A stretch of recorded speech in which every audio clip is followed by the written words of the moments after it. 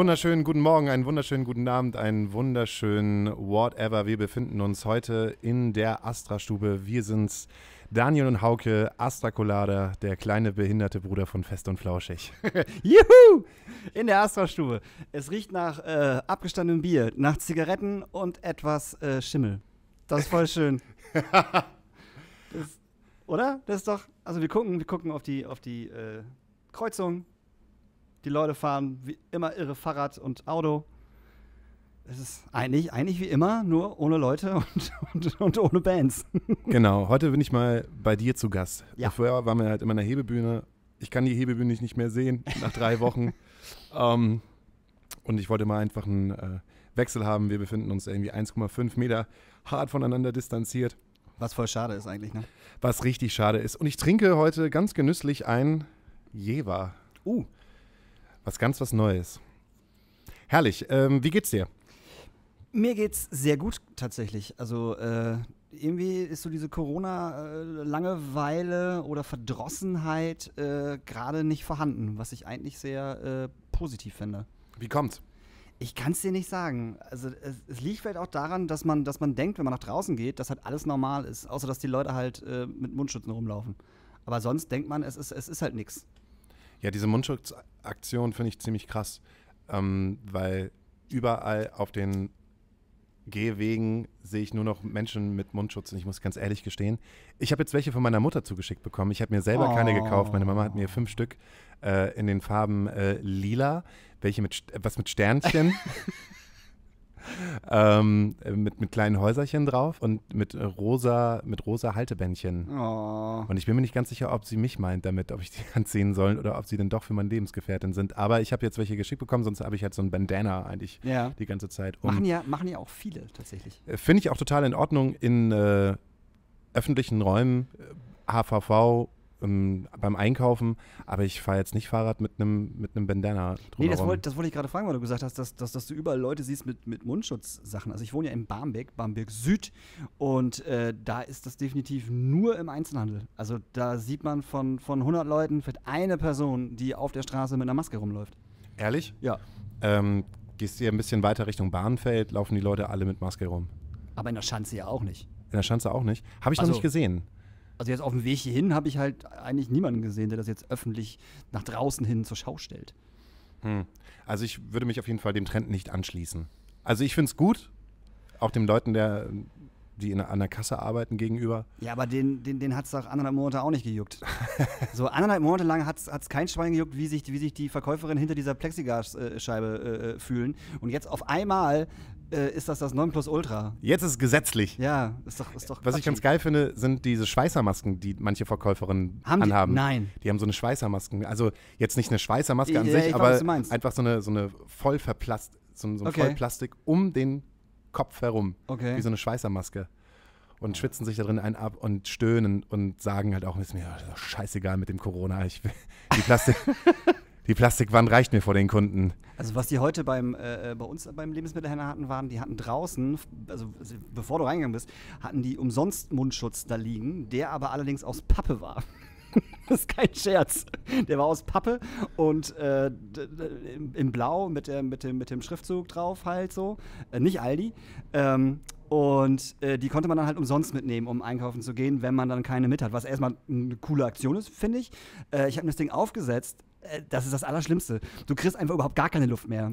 Du hast einfach so ein, so ein, so ein, so ein Pappe-Ding vor der Fresse und äh, es ist unangenehm, es stinkt, es, es müffelt halt sofort. Das ja, das Ding ist, eklig. es stinkt und müffelt ja halt auch nur sofort, weil das ja auch aus deinem eigenen Mund kommt. Mir ist und ich habe auch noch geraucht dabei, selbstverständlich. mir ist halt aufgefallen, jetzt in der Zeit, wo ich dieses Bandana trage, dass, äh, obwohl ich mir sehr oft die Zähne putze am Tag, ich dann doch eigentlich echt einen üblen Mundgeruch teilweise habe. Echt? Ja, hätte ich nicht gedacht. Das ist mir nicht aufgefallen bei Boah. Maske. Da müsste ich jetzt andere Leute fragen, ob ich Mundgeruch habe. Ich, ich, ich ekel mich da von mir, von mir selbst, wenn ich mich selber rieche. ich ekel mich von mir selbst, wenn ich mich selber rieche. Ja, ist, also wenn ich das rieche, was aus meinem Mund rauskommt. Und dann sage ich schon wieder, ja, wahrscheinlich Rauchen und so. Und Jever. Äh, Rauchen und Jever. Ja, heute gönne ich. Am letzten Freitag war ich nicht so gut drauf. Heute ist Donnerstag. Heute ist sozusagen der 30. April. Morgen ist der 1. Mai. Alle auf die Straße. Ja, mein Mitbewohner, Franz, hat äh, auch schon mir angedroht, so morgen gehen wir schön auf die Schanze. Ich bin seit Jahren, seitdem ich in Hamburg wohne, bin ich immer auf der Schanze beim 1. Mai. Es gibt doch nichts Langweiligeres als die Schanze auf dem 1. Mai. Ja, Zu Zeiten von Corona. Nee, an sich, das war letztes Jahr schon langweilig. Davor das Jahr war es auch langweilig. Was, ich meine, was erwarten die Leute denn? Ja, da? Wasserwerfer. Ach, so ein Scheiß, Alter, das ist doch vorbei. Was, keine Wasserwerfer mal zum 1. Mai? Sind morgen Wasserwerfer da? Sind da morgen Leute? Es interessiert mich. Ich glaube, ich, also ich, ich glaube, dass Hamburg auf, auf, die, auf die Straße geht, auf jeden Fall. Ich meine, in Hamburg sollen ja irgendwelche äh, äh, Nazis ihre, ihre Demo veranstalten. What? Und, ja, ja. Und äh, da wird halt äh, da, dazu aufgerufen. Bis jetzt ist sie auch noch nicht abgesagt, wie ich das äh, verstanden habe. Und äh, die, ich denke mal, die Flora-Leute oder überhaupt das linke Umfeld hier aus der Schanze, die werden auf jeden Fall was machen. Ich habe auch gehört, es soll mor also morgen irgendwas hier unter der Sternbrücke passieren. Habe ich durch den Buschfunk ist das äh, an uns herangetreten worden, dass hier äh, was sein soll. Man weiß es nicht, man darf gespannt sein. Was denn lustige Leute in Einhornkostüm und äh, Ganzkörperkondom? Wahrscheinlich. Und eine Hundertschaft von Polizisten mit äh, 20 Wasserwerfern, die die ganze Kreuzung abriegeln. Da hätte ich Bock drauf. Da würde ich, da würd ich so selbst, selbst auch mal hier, in- hier in den Club kommen, hier ans Fenster setzen, mir ein Bier aufmachen und die ganze Chose angucken. Weißt du schon, wie alt diese Tradition ist? Das hat mich nicht interessiert, ne? Weil mein Mitbewohner mich auch gefragt hat, woher, ne, warum gehen die Leute am, am 1. Mai auf die Straße? Weißt du, wo das herkommt? Nee. Hätte ja sein können. Nee, so. nee weiß ich wirklich nicht. Keine Ahnung. ja, morgen ist ja eigentlich so gesehen Tag der Arbeit. Tag der Arbeit, genau. Genau. Alle gehen auf die Straße und es ist normal, dass man am 1. Mai auf die Straße geht, aber viele wissen gar nicht, wo es herkommt. Und es kommt aus den Vereinigten Staaten. Wie bitte? Ja. Und zwar 1887, eingeführt von einem Menschen, der hieß August Spieß aus Hessen. Oh, jetzt wird sie aber richtig. Ja, Alter. ich habe ich hab mir richtig gegeben. Aber August, jetzt- August Spieß aus Hessen. Da habe ich auch gedacht, kommt vielleicht daher das, der Begriff Spießrutenlauf, aber egal. Also August Spieß aus Hessen gehörte nämlich mit äh, zu ähm, den ähm, äh, Wirtschaftsflüchtlingen, die wir ja damals hatten. Okay. Und zwar, äh, wir sind nämlich damals ja auch geflüchtet. Kann man sich gar nicht, Soll man nicht denken. das ne? kann man sich gar nicht denken. Nee. Mit wie vielen Leuten? Und zwar mit 60 Millionen Menschen, die rüber nach Amerika gang, gegangen sind. Okay. 60, Europa hatte 60 Millionen Wirtschaftsflüchtlinge. Wow. Und der größte Teil kam aus Deutschland. Ja, selbstverständlich. Ha! Und unter diesen Wirtschaftsflüchtlingen war halt auch August Spieß. Und ähm, damals äh, ist er dann nach Chicago gegangen und Chicago war halt so dieses äh, Nonplusultra vom Hörensagen, also der amerikanische Traum. Ja. Wenn du was werden willst, dann musst du dafür arbeiten und in Amerika funktioniert das. Ja. Die kamen aber gerade in so einem Moment kurz vor der Wirtschaftskrise und ähm, die Fabrikleiter haben äh, ihre Arbeiter teilweise 15, 16, 17 Stunden am Band gelassen. So, und irgendwann wollten, haben sich die Arbeiter das nicht mehr gefallen lassen. So, die haben, sind auf die Straße gegangen und haben gesagt, wir arbeiten nicht mehr, wenn wir ne, nicht normal acht oder neun Stunden Okay. arbeiten und der Rest ist unsere Freizeit. Haben sich die Fa- Fabrikarbeiter dann gedacht, ach, wenn halt 60 Millionen Flüchtlinge kommen, dann ist uns das aber scheißegal, dann nehmen wir die nämlich gleich, wenn sie vom Boot kommen und äh, äh, dann äh, tauschen wir die einfach aus und packen die in äh, die Fabrik. Ah, okay. So, und äh, deshalb war eine riesengroße Arbeitslosigkeit in den Staaten. Und ähm, der August Spieß war ein findiger Mensch und äh, hatte sozusagen ähm, das Talent, äh, Leute um sich herumzuscharen und konnte gut sprechen. Und er ist dann sozusagen mit den Arbeitern auf die Straße gegangen. Das haben die dann aber spitz bekommen, die Protestierenden, äh, also die, äh, die, die Fabrikbesitzer und die Lobby hat das dann hat spitz bekommen und fanden das halt nicht so geil, dass da halt jemand gewesen ist mit seinen, äh, mit seinen Dudes, der äh, die Arbeiter um sich herum schart. Dann noch ein Deutscher. Und dann noch ein Deutscher aus Hessen. Ach, aus Hessen. Und dann gab es halt sozusagen die erste, das die erste ähm, Bomben oder das erste Bombenattentat Amerikas. Und zwar wurde am 1. Mai bei äh, einer Kundgebung, wo August Spieß auch gesprochen hat, eine Bombe gezündet. Und Arbeiter sowie Polizisten sind Ja. dadurch äh, äh, ähm, gestorben und die, äh, ähm, äh, die äh, Fabriklobby hat aber sozusagen den Arbeitern die Schuld gegeben, den Lobbyisten die Schuld gegeben und August Spieß kam halt vor Gericht und äh, wurde dann verurteilt. Ah, zu Tode. Der Zu wurde, Tode verurteilt. Zu Tode verurteilt. Der wurde mit seinen fünf besten Homies wurde der äh, erhängt Ach du Scheiße. und hat noch einen wunderbaren Satz gesagt und zwar: Die Zeit wird kommen, dass unser Schweigen im Grabe mächtiger sein wird als unser Reden. Oha. Dann, das ist dann, ja, dann, Das ist ja fast schon so ein T-Shirt-Spruch, wa? Haha, finde ich richtig gut. Krass. Und ähm, dann nach sechs Jahren hat dann der äh, Gouverneur die äh, fünf Leute halt freigesprochen Ja. und äh, sie haben ähm, den Tag der Arbeit am 1. Mai halt sozusagen. Also nur, nur, nur, nur er ist getötet worden und die anderen, die anderen nicht. Nee, die, alle fünf wurden erhängt. Okay. So. Und er wurde dann aber nachträglich begnadigt. Ach so, okay, alles klar, nachträglich, okay. Und dann haben sie den Tag der Arbeit aufgerufen. Und, das und seitdem gehen halt Leute am 1. Mai und in der Arbeiterklasse protestieren. Okay. Und das haben wir Deutschen dann direkt übernommen, weil wir gedacht haben, geil, das war eh ein Deutscher. Nee, eben Das nicht. übernehmen wir einfach, oder was? Nee, wir tun so. Ach so. Eben nicht. Wir wollten das mal machen. Und wenn du Babylon Berlin gesehen hättest, Hab ich noch nicht, leider. geile Serie Ja. übrigens, ähm, da wird das auch aus ein bisschen auseinandergenommen. Weimarer Republik, ne? Ja. Äh, Kaiserreich, vergessenes Kaiserreich, scheiß drauf, äh, SPD an der Macht, haben sie versucht, ne? Ich glaube, äh, 1919 haben sie ein Jahr lang den Tag der Arbeit eingeführt und dann äh, fand, fanden das aber äh, die, die Reichsparteien alle so scheiße, dass sie es 2020 wieder, wieder hingelegt haben. 2020? Äh, Entschuldigung, die Reichsparteien haben 2020. Also du meinst jetzt 1920! 1920 haben die das halt wieder, wieder niedergelegt. Und Ja. weißt du, wer es wieder eingeführt hat? Darf ich den bösen Namen sagen oder was? Nee. Doch, Was Hitler? ja, Nein. doch, Oh, als Nationalfeiertag. gibt's doch wohl nicht. Doch, ehrlich. Er hat's, und das hat er mit Goebbels ganz ausgeklügelt gemacht. Und zwar, ähm, die sind ja damals 33 an die Macht gekommen und Das hatten im. Prinzip eigentlich alle hinter sich, außer die Gewerkschaften. Oh, das war natürlich ein sehr kluger Und die. Gewerkschaften waren mächtig. Ei, ei, Und dann hat er äh, Adolf Hitler gesagt, 1933, äh, der 1. Mai ist wieder der nationale Feiertag der Arbeit. Und da hat er sie alle gehabt. Ja, Da hat er sie alle gehabt. Ja, und jetzt gehen wir alle erstmal mal auf die Straße. Das ist Ja. doch, oder? ich könnte dir nochmal vom Berliner Blutmai erzählen von 1929. Vom, vom, vom was? Berliner Blutmai. Oh Gott, oh Gott, oh Gott, oh Gott. Ne? Ich meine, es gab den Tag der Arbeit halt nicht immer offiziell, aber trotzdem sind die Leute am, äh, am 1. Mai auf die Straße gegangen. Und ähm, gerade in dieser Zeit der Weimarer, äh, Weimarer Republik und äh, äh, SPD geführtes Berlin Ja. ähm, gab es halt die Situation, dass man auf der einen Seite die äh, Kommunisten hatte, Mhm. ne, das Proletariat, die Arbeiter, die sich halt, ne, wie immer, am 1. Mai beschwert haben, sie möchten halt mehr Kohle haben. Dazu hast du halt noch die Faschos gehabt, die sich gerade formiert haben. Dazu hast du ähm, ähm, die Polizei gehabt, die SPD geführt gewesen ist. Und ähm, die alten Leute, die dem Kaiserreich nicht abgeschworen haben. Okay. Das heißt, du hast so vier, vier äh, Grüppchen gehabt. Grüppchen gehabt, die, äh, die sich dann ähm, bekriegt haben. Und am äh, 29. Nee, äh, genau, 1929, im, am 1. Mai, äh, sind dann halt äh, 30 Leute gestorben und da gab es halt richtig Stress, weil sozusagen die SPD, die linksgeführte Polizei, äh, auf ähm, die Kommunisten geschossen hat. Hui. Und da gab es halt einen riesen Aufstand. Sachen geht's. Und auch das wird wieder in äh, Babylon Berlin Also muss ich besprochen. Du musst- das wirklich gucken. Du musst es wirklich gucken. Es ist super interessant. Es ist eine verdammt gute deutsche Serie. Entschuldigung, ich bin jetzt gerade. Ich fand es halt nur gerade so interessant. Ich habe mir das halt heute alles reingezogen, nur aus diesem, was wird eigentlich am 1. Mai und warum gehst du eigentlich auf die Straße und warum gibt es da dieser Stress zwischen der Polizei und den ganzen Linken? Wäre auch mal ganz geil zu wissen, warum das eigentlich so ist und wo das eigentlich seinen Ursprung her Ja. hat. Ne? Ja. Ob das wohl viele wissen? Jetzt wissen sie es ungefähr. Ungefähr.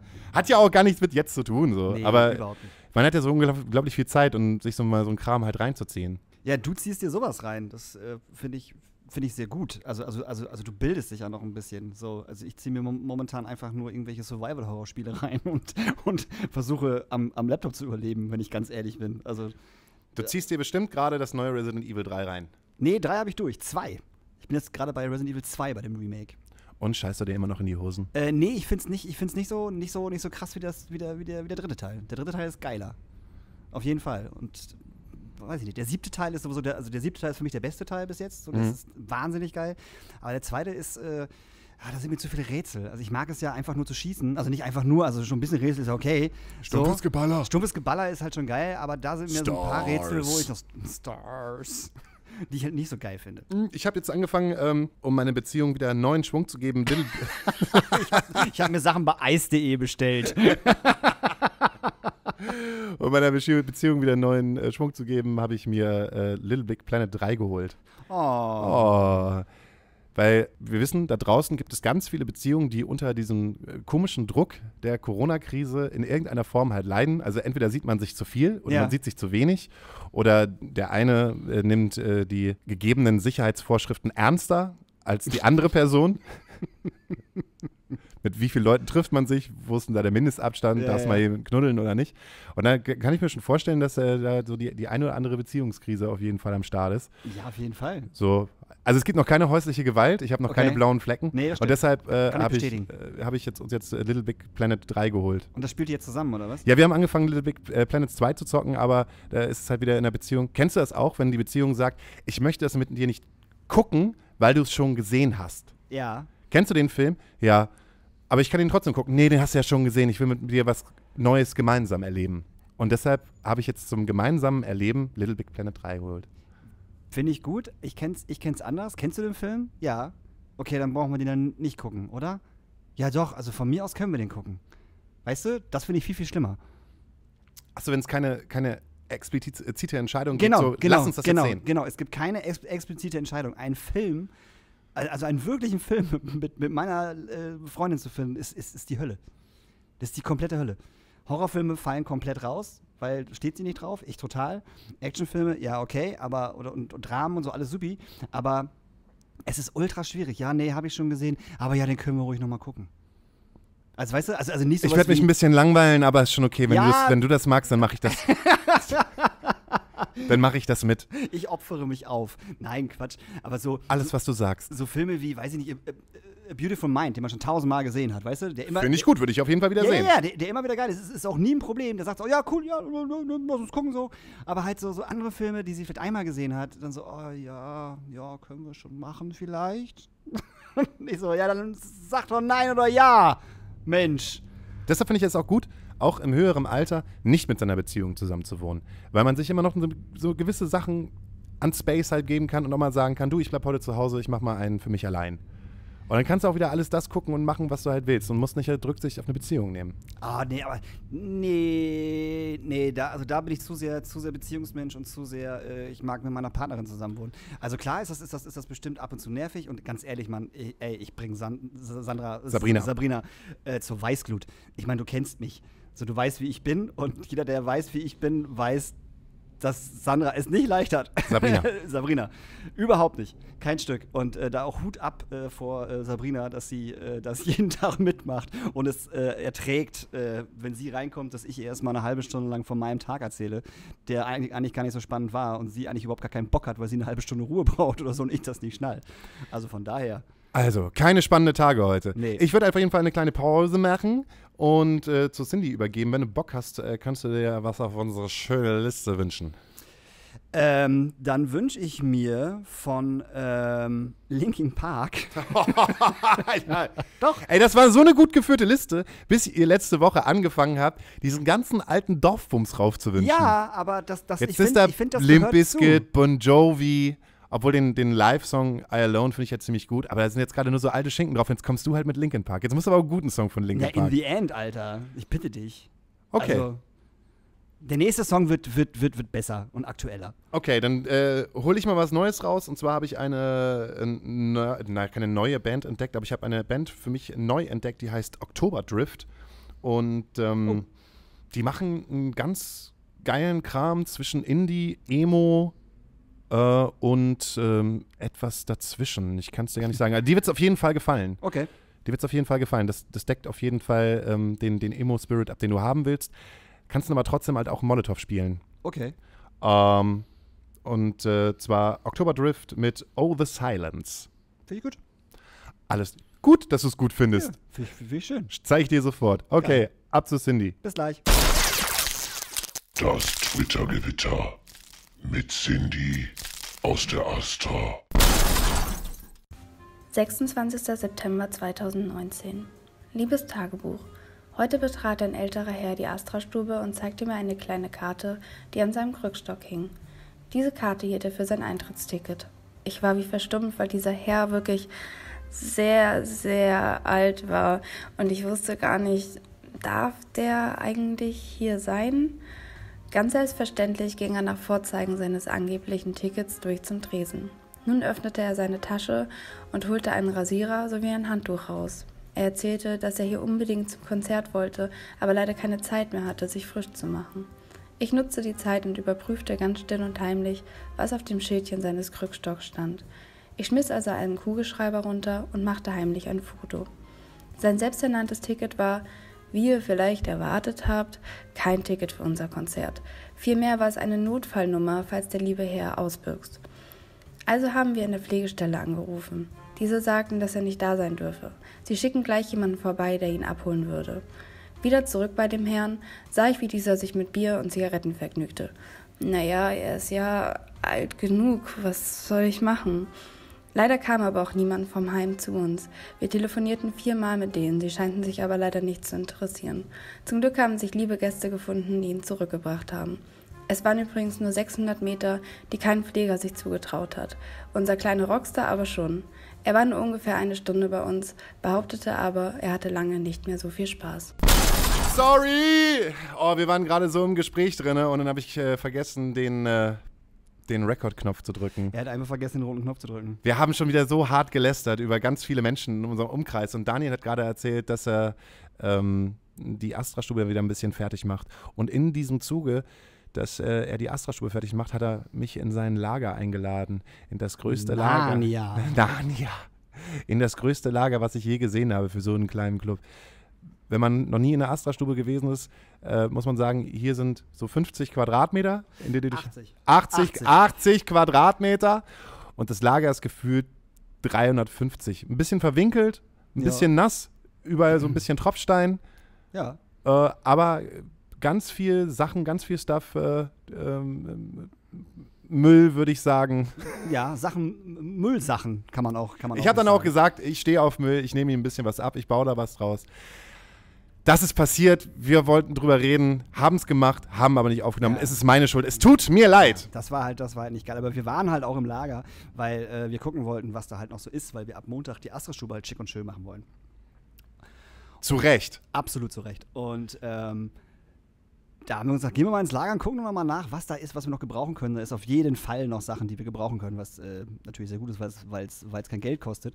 Und ähm, das Ding ist, Hauke sagte dann, wir könnten ja äh, den, den Finn Kliman äh, noch, noch einladen, dass der uns die Astra-Stube fertig macht. Aber da habe ich dann nö gesagt.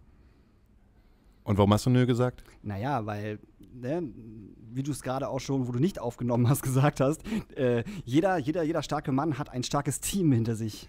Genau, ich habe gesagt, jeder Macher hat um sich herum andere Macher, die für ihn machen, damit der Macher in die Kamera lächelt und sagt, er macht. Ganz genau. Das macht einen guten Macher aus. Und das, und das kann der gute Finn nämlich ganz gut. Und in meinem persönlichen Umkreis finden den halt viele unglaublich geil. Und ich finde ihn aus ganz vielen Gründen unglaublich nicht geil. Weil äh, wir waren. Du hast das Wort unangenehm gesagt. unangenehm, ja, okay, unangenehm. Dieser Mensch ist mir körperlich unangenehm. Stimmt. Ich kenne aber auch ein paar Leute, die das über dich sagen. Ja, das weiß ich. Es ist, auch vo- vollkommen, vollkommen okay. Das ist vollkommen okay. Kennst du Leute, die das über mich sagen? Nee, tatsächlich nicht. Nee, kenne ich nicht. Ich habe das Gefühl, dass es ganz viele tun. Egal. Aber wir, ähm, wir waren auf einer, auf einer Aftershow-Party. Von einer Band, deren Namen wir nicht aussprechen dürfen. Genau. Ähm, im, äh, in, der, in der großen Freiheit. Und wir waren alle sehr betrunken und der, der gute Finn hat es allen Ernstes dreimal geschafft, sich, sich in ein Gespräch, was ich mit drei unterschiedlichen Leuten geführt habe, sich so unangenehm reinzusneaken. Das war so ekelhaft arrogant und immer mit einem Hallo, ich bin Finn. Und ich habe gedacht so, Alter, w- Hallo, ich bin Daniel. so, wen interessiert das? Und du kennst uns beide nicht. Warum quatscht du uns hier so doof von der Seite an? Ja, vielleicht wollte er einfach nur Kontakt schließen. Vielleicht wollte er einfach nur neue Freunde gewinnen. Ja, vielleicht war das einfach nur freundlich Nee, gemeint. nee, beim ersten Mal war das vielleicht noch freundlich gemeint, so, aber beim, beim zweiten und dritten Mal war es einfach nur, weiß ich nicht, dumm. Also ich meine, der, der, der kannte da gefühlt 80 Prozent der Menschen. So, also das, das, das habe ich einfach, einfach überhaupt nicht verstanden, was er wollte. Überhaupt gar nicht. Und er hat auch überhaupt nicht kapiert, dass er, dass er gerade komplett fehl am Platz ist. Also, dass, dass, dass seine Anwesenheit einfach, einfach gerade so, nee. Hase, wir reden hier gerade über Sachen, wo du wahrscheinlich keine Ahnung von hast, die dich auch nichts angehen. Warum quatscht du uns hier so, hier so blöd rein? Und dann hat er mir am Ende noch mein letztes Becks weggenommen. Aus dem Kühlschrank. Hat sich vorgedrängelt. Ich hatte die Hand schon, er hatte den Kühlschrank auf und da kommt er von links mit seinem Arm, greift in das Ding rein und holt das Becks raus. Dann habe ich ihn angeguckt gefragt, ob er noch alle Lappen am Zaun hat. Oder er dich nur lächelt. Nee, er hat mich angelächelt, habe ich ihm das Bier aus der Hand genommen und bin rausgegangen zum Rauchen. So nicht, habe ich mir gedacht. So nicht. Ja, und er erzählt wahrscheinlich in seinem Podcast, oh, auf diesem Konzert der Band, deren Namen wir nicht nennen dürfen, ähm, da war so ein Typ, der hat die Leute halt betrunken halt immer so voll gelabert. Und jedes Mal, jedes Mal, jedes Mal hat er es nicht geschnallt, dass ich eigentlich die Person gegenüber retten wollte. Und hat mich nur doof angepla angeplauzt. Und dann habe ich den ganzen Abend noch nichts getrunken, habe ich nicht aus dem, aus dem, aus dem Backstage-Kühlschrank bedient, aber hatte keine Kohle mehr dabei. und dann wollte ich mir das eigentlich nur das letzte Back, äh, Backs wegnehmen. Und dann hatte ich das in der Hand und dann hat, hat er mir das auch noch weggenommen. Was für ein Wichser. Daniel aus der Astra-Stube. Ja. Das Gute ist, dass ich genau weiß, mit wem ich mich an dem Abend unterhalten habe und dass die, die drei Personen das genauso gesehen haben wie ich und auch nicht verstanden haben, was er sollte. Und ich weiß nicht mehr, wer, wer neben mir stand äh, mit, dem, mit dem Bier. Also es könnte, nee, ich weiß es nicht mehr, aber äh, ich habe dafür auf jeden Fall Props bekommen. Zur Feier des Tages kannst du dir einen Leoniden-Song wünschen auf unsere Playlist. Oh ja, wünsche ich mir einen Leoniden-Song. Äh, Sisters, der heißt Sisters, ne? Ja. Ja, den, den, den, den, den wünsche ich mir. Siehst du. Ach man, die Leoniden, die Guten. Die haben ja jetzt auch nichts zu tun, ne? Außer vielleicht mal bei Instagram mal so ein, so ein, so ein Piano-Lied zu machen. Ganz am Anfang haben sie das gemacht. Das ist voll scheiße. Also die Situation ist natürlich richtig kacke für Musiker, aber für die Musiker, die so auf der Kippe gestanden haben, sag mal so, dieser Punkt, wo du eigentlich im Prinzip nicht mehr arbeiten kannst, weil du mit der Band so Ja, hart unterwegs ja, ja, bist, ähm, bis, äh, äh, bis zu dem Punkt, wo du halt wirklich so viel Kohle verdienst, dass das jetzt, ne, wo du das jetzt einfach aussitzen kannst, Ja. ist ganz schön hart. Weil Ja, ich glaube, da das glaub werden, ich ich glaube, da werden halt leider ziemlich viele Bands dran zerbrechen. Ja, aber ich glaube die Leoniden nicht. Ich glaube, die Leoniden werden eine, werden eine, große, äh, eine große Ausnahme sein. Also das glaube ich wirklich, weil äh, wenn das ganze Ding hier wieder losgeht und die Le- Leoniden sagen, so, wir machen jetzt mal ein geiles Konzert oder wir machen eine Tour, äh, dann ist das Ding wieder bumsvoll. Wie ist das eigentlich passiert? Warum ist das passiert? Wann ist das passiert? Wann weiß, glaube ich, keiner. Äh, warum? Weil es einfach so, so eine unglaubliche Liveband ist. Also das letzte Konzert, was ich von denen gesehen habe, war in einer großen Freiheit auf der Tour.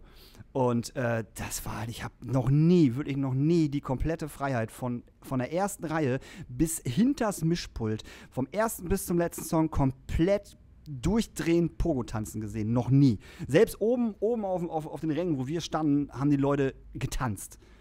Also das war der absolute Wahnsinn. Die kommen auf die Bühne, drehen Schalter um und die Leute flippen halt völlig aus. Ich finde es krass, weil es wieder eine Band ist, die nicht auf Deutsch singt und es funktioniert. Ja, absolut. Weil es halt so dancy ist. Es ist halt so dancy. Die Typen sind halt, sind halt so Schnuggels, ne? Alle irgendwie der verrückte Typ, der sich immer die Gitarre rumschmeißt und sich beim Hurricane die halbe, die halt den halben Kopf wegballert und so. Ne, das ist also mit der Gitarre, das, das gehört halt alles, alles irgendwie zusammen. Dann diese, diese, diese schrägen Instagram-Stories, die die machen, wo du eigentlich nur angeschrien wirst die ganze Zeit.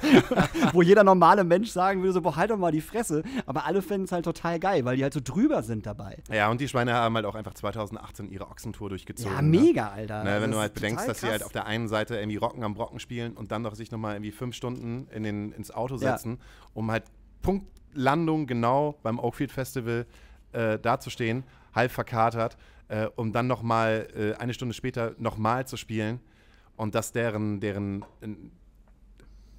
also deren normaler Touralltag gewesen Ja. ist in der Festivalzeit, Ja. dass sie halt zwei, manchmal sogar, ich glaube, die haben Drei. sogar drei, Ja, drei. Gigs hintereinander Ja, gespielt. Der Daniel Tresler, der Daniel Tresler, der die, der, die, der die bucht, ist ja auch ein, ist ja auch ein Hund. Ein reiner Hund ist das. Der, äh, das ist auch ein Macher. ist- Daniel Tresler ist ein Macher. Liebe Grüße an Dan- Daniel Tresler. Der hört das bestimmt nicht, weil er, glaube ich, keine Podcasts hört, weil er, weil er nur arbeitet. Selbst jetzt arbeitet er wahrscheinlich nur. Der macht jetzt schon Touren für Annemar Kantereit, für äh, Leoniden und für Farbe wahrscheinlich für, für 22, 23, klar. Und hat schon auf jeden fertig. Fall wieder das große Ding äh, an der anderen Hand, wo er sagt, okay, alles klar, in zwei Jahren machten wir die wieder Ich glaube, ich, ich weiß voll. nicht, ob die, ob die Ballonstreicher sind. Papst, sagt ihr das was? Ja, Sind die Ballonstreicher? ja. Ja, dann wird das das, das, das nächste große Ding. Auf jeden Fall. Ich habe heute das Video äh, gesehen und feier es total ab. Ich finde es mega gut. Richtig abgefahren. Und das wird das nächste große Ding auf jeden Fall werden, wenn wir dann alle wieder raus dürfen. Und dann ist es uns ja auch scheißegal, wenn wir da raus dürfen, was wir hören. So, mal ganz ehrlich, ich glaube, wenn, wenn wir hier eine Asso-Schuhe aufmachen, äh, ich kann hier, weiß ich nicht, äh, irgendwen auf die Bühne stellen, so, und äh, es wird voll und die Leute feiern das ab. Glaube ich wirklich, weil die Leute Bock haben. Meinst du? Ich glaube, es wird definitiv zwei bis drei Wochen der Gewöhnung, dass die Menschen wieder in den Club gehen dürfen. Alleine, wir haben ja über die Maskenpflicht gesprochen. Ja. Ähm, ich kann mir sogar vorstellen, dass äh, so die ein oder andere Person einfach auch dieses Maskenpflichtding mit in den Club mit reinnimmt. Ja, aber das ist ja vollkommen okay. Und vielleicht müssen wir das Maskenclub-Ding äh, komplett in den Club mit reinnehmen. Ja. Also das weiß man ja nicht. Vielleicht dürfen hier in der Astra-Stube auch irgendwann keine 100, 100 Leute mehr rein, sondern nur 50. Und alle müssen halt eine Maske tragen. Und äh, kann alles passieren. Also, Aber wir wissen es nicht. wir wissen es nicht. Wir wissen es nicht. Wir haben jetzt als Band, äh, da wir jetzt ja auch keinen Festivalsommer haben, äh, schon äh, überlegt, halt einfach ähm, kleine geheime ähm, Konzerte auf dem Dorf zu spielen. Ja, mega gut. Ähm, wir haben da schon diverse Angebote. Geil. Den- echt, echt jetzt? Ja, Geil. also äh, von Vorgärten, wo die sagen, also, wir haben hier Platz für 400 Leute Ja, ja. und äh, ihr müsst euch keine, äh, keine Gedanken über den Dorfsheriff machen, den laden wir einfach mit ein und füllen den ab. Ist ja auch ganz schön ge gefährlich eigentlich. Also mal ehrlich jetzt. Also, weißt du, also, ne? Also. Wie meinst du? Ja, schwitzende Menschen, kein Mundschutz. Es Ja, aber- gibt ja noch dieses Corona, weißt du? Ich weiß, aber die Leute haben halt Bock. Ja, das ist das Ding. Aber sollte man, soll, sollte man den Leuten den Bock lassen, obwohl es gerade nicht cool ist? Und das sage ich. Ja, ich weiß. Weißt du was? Also, ne? ja, aber das, das Corona wird ja auch immer noch da sein. Also das Corona wird ja halt auch noch im Oktober immer noch sein. Es Ja. wird eine Sache sein, mit der wir uns halt lange beschäftigen werden und wir werden halt Regeln bekommen ähm, vom Staat, die manchen halt nicht, die manche halt nicht cool finden, ähm, die manche aber halt auch wieder ähm, super streng einhalten werden. wir, und sind, wir sind ja auch Deutsche. Das wir sind ja auch so. Deutsche, so. Ähm, aber damit, ich, ich glaube einfach, diese Balance zu finden zwischen Regeleinhaltung und äh, so, ein, so ein kleines bisschen Rebellion. Dann sind wir, auch schon wieder beim 1. Mai. Dann, so, dann ein, sind wir wieder beim 1. Mai. so, ein so ein kleines bisschen Rebellion. Weißt du, so ein bisschen Punkrock. Wie wir auch schon mit Torben sagten, so kleine Konzerte irgendwo in ja, Fabrikhallen genau. von irgendwelchen Indie-Bands, wo halt die Kids halt damals sagen, ah, es war halt Corona, aber wisst ihr noch, als Band XY ja, ja, ja, genau. in der Fabrik gespielt haben und wir alle total durchgerührt. Als Finn Kliman in der abgelegenen Fabrik gespielt hat, Und da war noch Masken genäht hat. der, der live Masken genäht Ey, hat. ich, bin, ich bin der Erste, ich bin der Erste, der, der sofort von der, von der Bühne steht. Das wäre mir auch egal. Mundschutz auf und, und, und, und, und los geht das Ding. Also, weiß ich nicht. Dafür, dafür liebe ich Musik zu sehr, dafür, dafür, dafür mache ich den ganzen Scheiß zu lange und äh, ich will nicht unbedingt sagen, dass, dass, dass meine Gesundheit mir dann egal ist. Also weißt du, dass ich, dass ich meine Gesundheit über, über, über. Das, das hat ja auch nichts mit Party machen zu tun, sondern eher mit, ähm, ich brauche das einfach. Ich brauche Live-Musik, ich brauche Clubgeschichte, ich brauche das Arbeiten. So. Und von daher ist das, ist das eine schwierige Nummer. Das ist für die Menschen, die Clubgänger sind, nachvollziehbar, aber ich glaube noch nachvollziehbarer für jeden, der selber einen Club hat und der schon jahrelang Veranstaltungen macht. Ich glaube auch. Das glaube ich auch. Aber ich habe äh, zum, zum, zum, zum Abschluss noch äh, eine, eine, äh, einen, eine, eine, eine Serie, die ich euch allen ans Herz legen möchte. Zero, Zero, Zero. Mega. Äh, Mafia, Italien, Drogengeschäfte, Kartelle, äh, tausendmal besser als dieses El Chapo-Ding, was da auf Netflix lief. Wie hieß es nochmal? El Chapo! Na, wie hieß es denn Narcos. nochmal? Narcos. Und das andere hieß. El Chapo! El Chapo! Ja, Narcos Komm halt. El Chapo! Na, Narcos war schon geil, aber Zero Zero Zero ist halt nochmal eine ganz andere Nummer. Also auf jeden Fall, weil da geht so ein bisschen dieses, ähm, ja, die sind ja alle auch total geil und so, äh, geht ein bisschen weg. Und äh, da ist halt ähm, äh, diese Glor Glorifizierung dieser ganzen Leute geht halt ein bisschen weg. Was total geil ist. So, weißt du, so, so bei Goodfellas und bei Cosino, da fand man die alle total geil. Ne? Das waren ja Drogenleute und das, die fand man super. Aber Zero Zero ist es halt nicht so. Da findet man die nicht geil. Da sieht man, dass das alles ganz schön arme Würstchen sind, die in irgendwelchen Kellern leben müssen, weil äh, die gejagt werden. So. Oder auch die Leute, die da als Killer eingesetzt werden. Das ist halt alles, das hat alles nicht, nicht, nicht, nicht so schön. Und darum ist es geil. Okay, das ist Wahnsinn. Wir bekommen gerade einen Gast in die Astra-Stube, sagen auf der anderen Seite Tschüss. Du kannst ja noch äh, eben kurz, äh, wünsche noch was für unsere Playlist. Äh, ich wünsche mir äh, irgendwas von Lügo. Und da ist auch wirklich wieder irgendwas, weil es mir egal ist. Okay, wir wünschen uns irgendwas von Lügo. Ich wünsche mir noch äh, einmal von Frittenbude Die Dunkelheit darf niemals siegen. Boah. Wahnsinnssong zusammen mit äh, Jörg von Love A. Jörg. Äh, hab den letztes Jahr ein oder zwei Mal gehört, fand den wirklich gut, aber jetzt zur Corona-Zeit ist er wieder irgendwie hochgeploppt und finde den so wahnsinnig gut. Also kann ich wirklich sehr empfehlen. Und äh, einmal einen für die Girls und zwar von Halos äh, Kyoto. Ja, für die Girls. Finde ich gut. Für die Girls. Äh, nächste Woche haben wir auf jeden Fall wieder einen Gast mit dabei. Oh ja.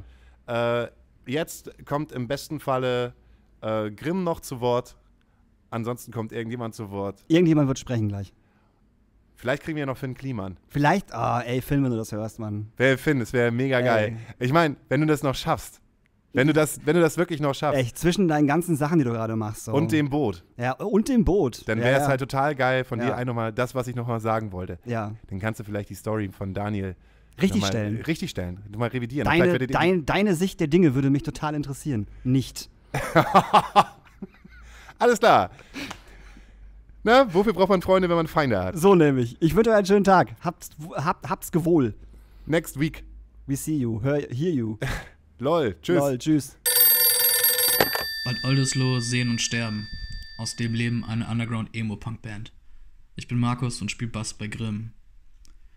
Irgendwann kommt für eine DIY-Band endlich der Punkt, an dem voller Stolz die erste Vinyl released wird.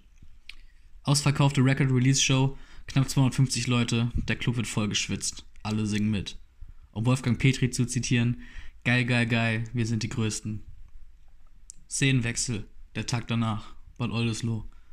Beseelt von großer Euphorie stiegen wir aus unserem Auto. Dann ein Blick auf das Poster vom Eingang des Clubs, das unsere Show bewerben sollte.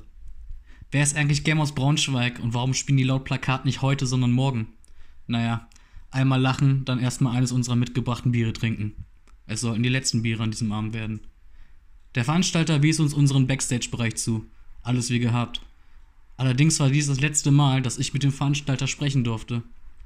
Wobei das letzte Mal war, als uns gesagt wurde, Catering gibt es heute bei uns nicht, aber er würde sich gleich eine Pizza bestellen. Wir können uns daran beteiligen. Selber zahlen bitte. Genauso wie das Bier vor Ort. Der Abend war ein großer Erfolg. Ganze drei zahlende Gäste habe ich im Saal zählen können. Nebenan im Barraum saßen übrigens eine Handvoll Mitarbeiter. Die kümmerten sich allerdings sehr hingebungsvoll der Vernichtung rauer Mengen Alkohols. Ob die auch selber zahlen mussten? Naja. Vor der Heimfahrt versicherte man uns jedoch, Normalerweise ist ja am Freitag mehr los. Wir haben ja schließlich ein Plakat aufgehangen. Die Leute hätten also alle Bescheid gewusst. Yeah, Punkrock. Und heute? Heute sitze ich alleine zu Hause, darf nicht proben, keine Shows spielen und vermisse genau das. Chaotische Schweineshows in den allerletzten verrauchten Rumpelkammern Deutschlands mit meinen besten Freunden. Scheißegal, wie viele Leute kommen und was drumherum geschieht. Live spielen ist und bleibt das schönste Gefühl der Welt. Moin Jungs, das mit dem Geschichtsunterricht lassen wir mal lieber sein, ne? Und ähm, und ähm, und ähm, und ähm, und ähm. Die Hipster vom Papst sind beim Landstreicher nicht. Die sind bei Radikales, aber ist so egal. Wenn ich Tame Impala hören will, gehe ich in die Kirche.